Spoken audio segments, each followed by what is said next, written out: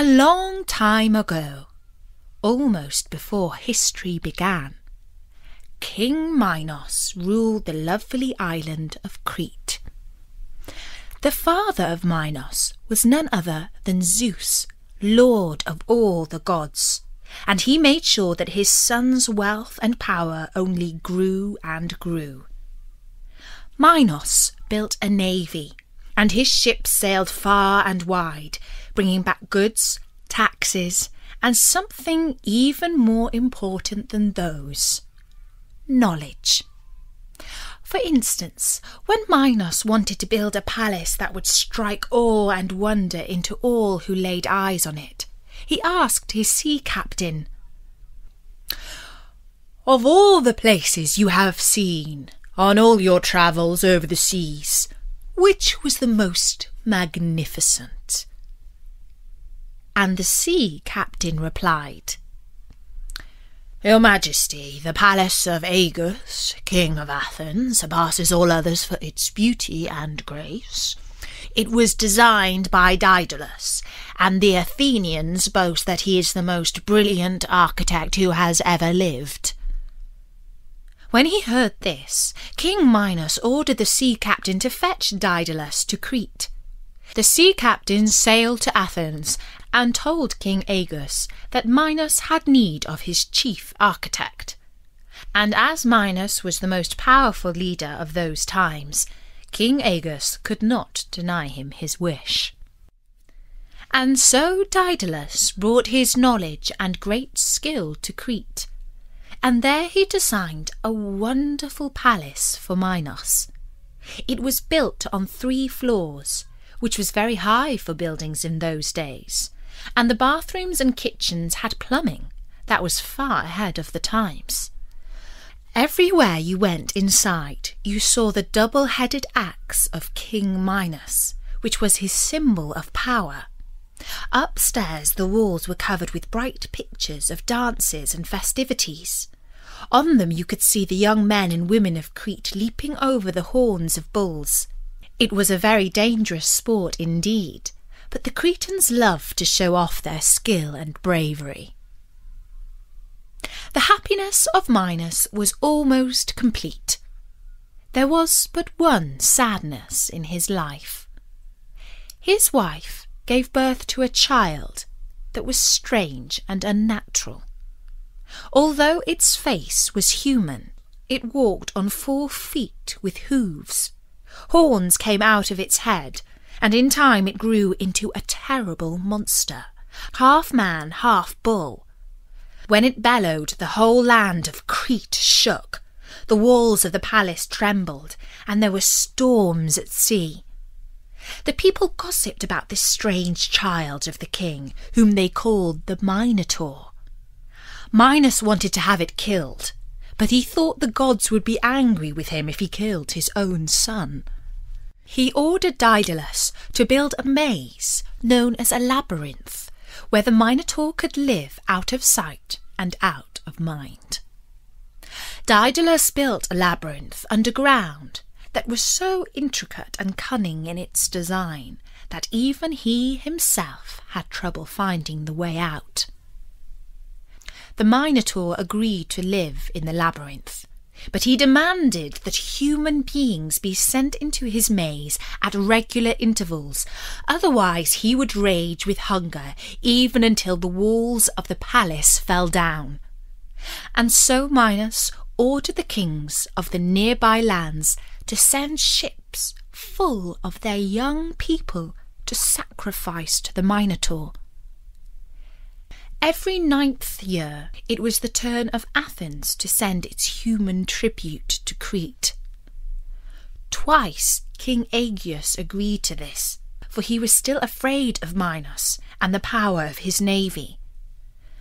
But on the third occasion his son, Prince Theseus, said to him, Father, this time let me sail to Crete and I shall kill the Minotaur and end this misery for our people.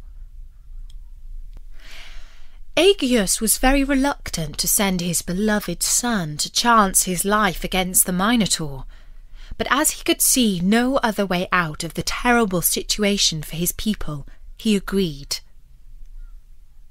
It was decided that the ship of Theseus would carry two sets of sails. If the mission was successful, it would return to Athens under white sails. But if Theseus was killed by the Minotaur, it would sail back under black sails. That way, the people of Athens would receive the news of the outcome all the sooner.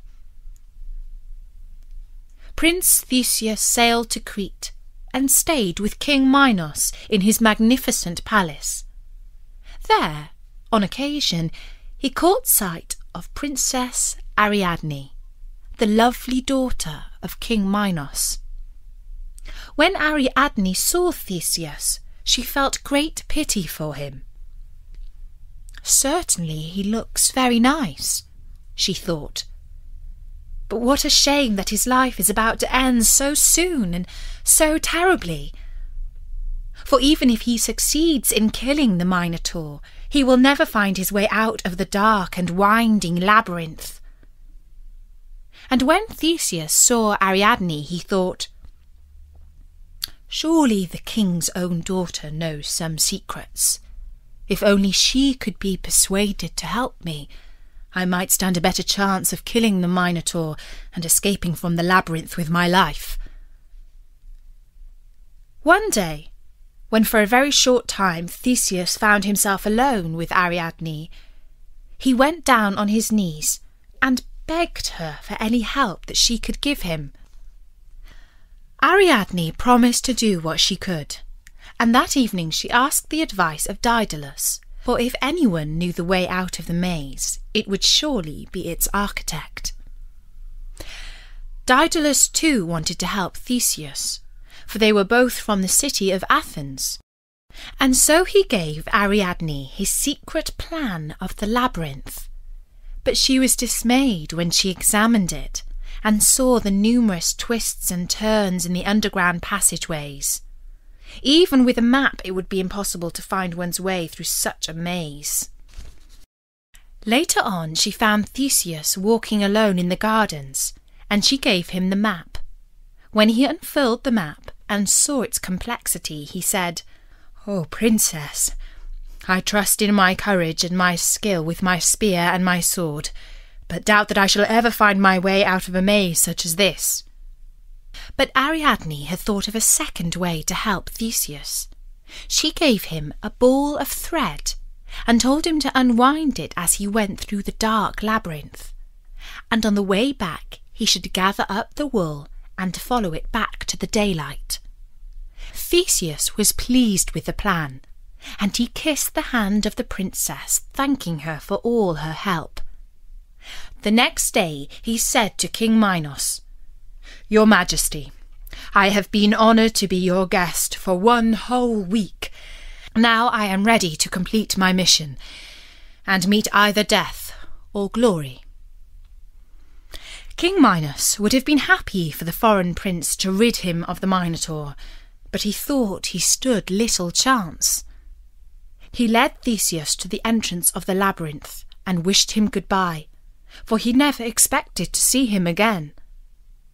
Then Theseus ventured into the maze, and a little way in, he tied one end of the ball of thread to a beam. He went further, and soon he was in complete darkness. He had to feel his way along the walls and around the twists and turns of the labyrinth. All the while he unwound the ball of wool that Ariadne had given to him. Somewhere, deep inside, the bull was stamping and snorting, impatient to meet its latest sacrifice. At last, deep within, Theseus could hear the Minotaur was close by. He found a passageway that led to a dead end, as many of them did. But what made this one different was that there was a sudden turning just before the end. He had seen this passage on the map, and it was just the place he was looking for. Theseus hid himself around this final twist and called out to the Minotaur. It heard him and it came charging down the passage. But it could not slow down before the turning, and it charged straight into the wall. While it was still stunned from the impact, Theseus thrust his spear into the beast's neck and killed it. Though it did not let up its life before letting out a terrible bellow. Then the walls of the palace shook and trembled, and King Minos said, Thank Zeus! It seems that Prince Theseus has rid us of the terrible monster. But he will never find his way out of the labyrinth, and will surely die there. But Theseus began to gather up the ball of thread until at last he reached the exit where Ariadne was eagerly waiting for him. Princess, how can I thank you? said Theseus. For without your help, I would never have found my way out of that terrible place. And Ariadne replied, Take me back to Athens with you and I shall be your bride. Now these were far from the words that Theseus had been hoping to hear. For although Ariadne was extremely beautiful, he was due to marry another princess on his return to Athens. But he could not find the words to explain this to Ariadne, and so he replied in haste, Come, we must leave right away before your father discovers the truth. And taking her by the hand, he led her down to his ship that was ready and waiting. They set sail immediately for Athens, and in her heart Ariadne was overjoyed because she would soon marry her hero. Or so she believed. But he had different plans. On the way back, they stopped at the island of Naxos to gather supplies. Ariadne walked the end of the beach, paddling in the waves, and Theseus told the sea captain to set sail as fast as he could. Poor Ariadne was marooned on the island of Naxos, abandoned by her faithless lover. She stood high up on the cliffs and watched his sail disappear over the horizon. As she shed bitter tears, Bacchus, the god of wine, heard her weeping and decided to cheer her as best he could. He led his procession to her, wild animals and dancing servants, banging on drums and sounding trumpets. He took her crown from her head and cast it up into the sky. It soared up to the heavens and its jewels turned into stars and formed a constellation in the shape of a crown. As Theseus sailed away, he was laughing with the sea captain about the trick they had played. But Poseidon, the god of the seas, heard them, and was angry with Theseus for his betrayal of the princess. He sent a storm to toss his ship, the white sails were ripped and torn and fell into the raging seas. The ship survived the storm, but the captain was forced to repair his ship and use the second set of sails, the black ones that were meant to signal failure. As they approached Athens, they were spotted by fishermen who raced back home to report the dreaded news. The ship of Theseus, the hope of Athens, was returning under black sails. When this news reached the ears of the old king, he ordered his chariot to take him down to the harbour to see the ship return. When he saw that it was indeed returning under black sails, he was filled with uncontrollable grief, and threw himself from the top of the harbour tower and into the sea, where he drowned. And that is the story of how Theseus betrayed Ariadne, who had helped him escape death in the labyrinth of the Minotaur.